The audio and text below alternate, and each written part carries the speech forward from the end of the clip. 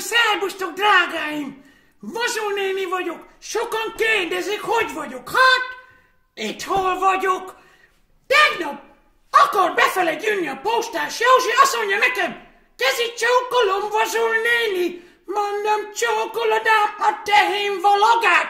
Engem ugyan meg nem csókolsz a virológus pofádra. Nem megyek én ki az utcára se.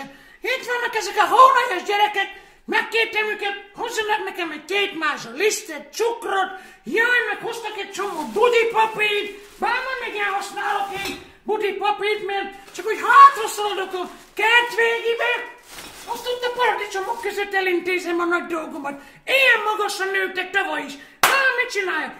Ez a bolond makuty Magdi menne le a postahivatalba, a izére, az orvosiba, a gyógyszertárba, mondtam is neki, hát ezzel slatyogsz azokkal a viszeres csülkeiddel?